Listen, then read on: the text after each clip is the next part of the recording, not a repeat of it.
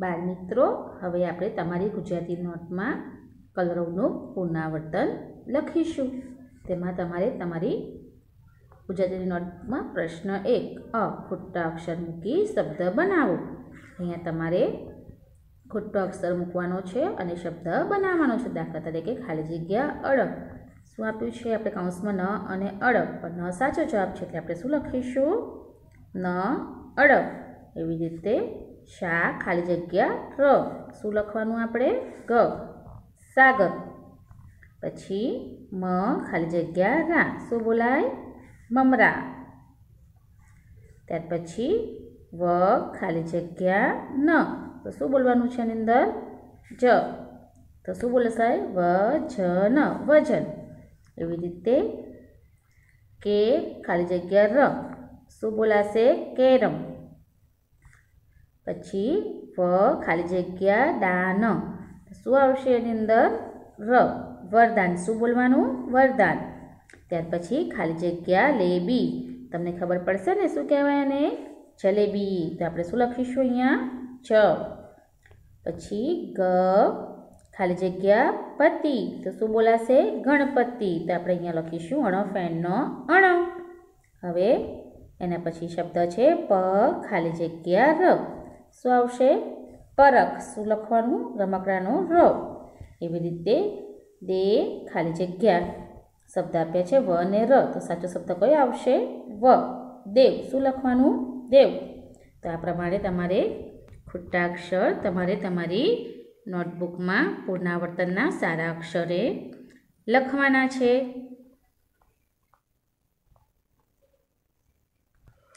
ત્યાર પછી તમારે નમૂના પ્રમાણે વાક્ય લખવાના છે. તમને મેં અહીં ઉદાહરણ આપ્યું છે કે રમ. રમનું રમા રમી. એવી રીતે પહેલું વાક્ય શબ્દ છે તમારો નમ. તો નમમાં લખવાનું નામ નમી. પછી જન. તો જાન જની. વર છે તો જવાબ શું લખીશું? વાર અને વેર દવ. દવનો કાનું લગાવીશું તો દાવ અને એક માત્ર લગાડીશું તો દેવ. મન. તો કાનું લગાડતા માન અને મને. પછી છે જમ. જમનું જામ અને જમી. આ પ્રમાણે તમારે શબ્દ લખવાના છે. મેં તમને અહીં લખી બતાવ્યા છે. એ પ્રમાણે તમારે નમૂના પ્રમાણે શબ્દ લખવાના છે.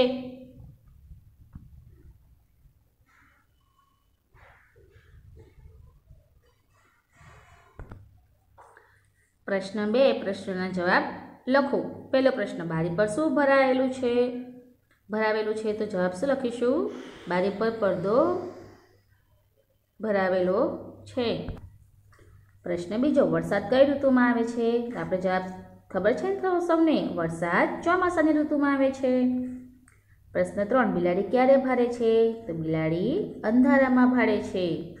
પ્રશ્ન ચાર, નદી કે તળાવ કઈ ઋતુમાં ભરાઈ જાય છે? તો સૌને ખબર જ હશે તો કે નદી અને તળાવ ચોમાસાની ઋતુમાં ભરાઈ જાય છે. પ્રશ્ન પાંચ, પોપટનો રંગ કે પોપટ કયા રંગનો છે? તો પોપટ જવાબમાં શું લખવાનું? લીલા રંગનો છે.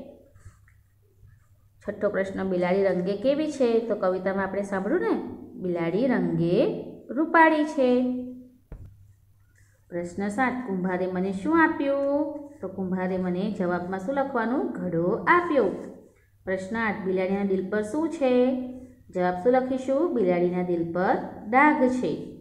પ્રશ્ન નવ, તમે પાણી કયા કયા કામ માટે વાપરો છો? તો આપણે પાણી શેમાં વાપરીએ? નહાવામાં, કપડાં ધોવામાં, વાસણ ઘસવામાં, ખેતી માટે અને પીવા માટે પાણી આપણે વાપરીએ છીએ. પ્રશ્ન દસ, બિલાડી કોને મળતું પ્રાણી છે? તો જવાબ શું લખવાનું? બિલાડી વાઘને મળતું પ્રાણી છે. તો આ પ્રમાણે તમારે પ્રશ્નના જવાબ પણ તમારી નોટબુકમાં લખવાના છે. હવે આપણે નવો પ્રશ્ન જોઈએ. ચિત્ર જોઈ તેના નામ લખો. અહીં તમને ચિત્ર દોરી મેં બતાવ્યા છે. એ ચિત્ર પણ તમારે તમારી નોટબુકમાં દોરવાના છે અને તેમાં સામે તેનું નામ લખવાનું છે. જો આ તમને મેં ચિત્ર થોડા દોરીને બતાવ્યા છે, બાકીના ચિત્ર તમારે સ્વાધ્યાય પોથીના પાન નંબર છ, પાંત્રીસ, સિત્તેર અને બોતેર પર આપેલા છે. એ મુજબ તમારે ચિત્ર દોરવાના છે અને શબ્દ લખવાની તૈયારી તમારે જાતે કરવાની છે. આ પાંચ નંબર પર તમારે ચિત્ર દોરીને આ પ્રશ્ન પૂરો કરવાનો છે. હવે તમારો પ્રશ્ન ત્રીજો, શબ્દ બનાવો અને લખો.